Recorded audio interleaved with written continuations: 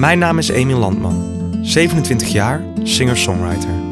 Na het uitbrengen van mijn eerste album speelde ik bij De Wereld Draait Door, ben ik genomineerd voor een Edison en werd uitgeroepen tot Radio 2 en 3FM Serious Talent. Ik speelde het naprogramma van Passenger en toerde mee met Mr. Mississippi, Blauwtsoen en Dotan. Ik speel in een band met goede vrienden en sinds een half jaar woon ik samen. Eigenlijk genoeg redenen om thuis te blijven. Toch wilde ik weg. Ik wilde naar voor mij onbekende plekken, op zoek naar bijzondere geluiden, nieuwe geuren, vreemde dingen en mezelf verwonderen over de diversiteit van de wereld waarin wij leven. Boven alles wilde ik deze ervaringen mee naar huis nemen, in de vorm van liedjes. In negen weken ben ik met de trein een rondje om de wereld gereisd.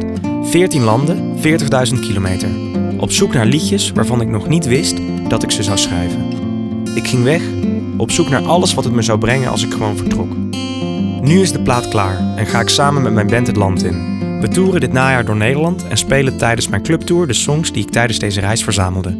Op 11 december spelen we in Hedon in Zwolle. Trains and planes and boats to get back to you. Someone in this world has to trot a long way to listen to me closely, and I'll be back soon. Look up at the stars tonight, and I'm sure look at the same stars as you do, as you.